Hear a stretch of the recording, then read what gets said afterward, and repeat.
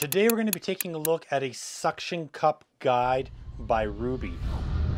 So this is really handy if you have to drill out some holes for plumbing in a shower. I use this for three inch bits, four inch bits, inch and a quarter. I'm going to be showing you what it looks like to be drilling with an inch and a quarter Rubi bit. You just put this against the tile, pull the lever, and it sucks right down to the tile. And then you just slip your bit in here and turn it on and away you go. It just keeps your bit from sliding around. As opposed to when we're not using a guide like this we've got you know a setup kind of like this on a grinder and you freehand it and you want to come in it on an angle and then tip in. Well with the guide you're basically just starting here and just pushing right in. This also allows for a water connection. Rubi has a water pump that you can get separately or you can get it in a kit sometimes and it connects right on here and it just pumps water in for wet cutting. This is the unit for wet cutting, so you can get it sometimes together, separate. It just depends on, on the deal. Super easy to use. You just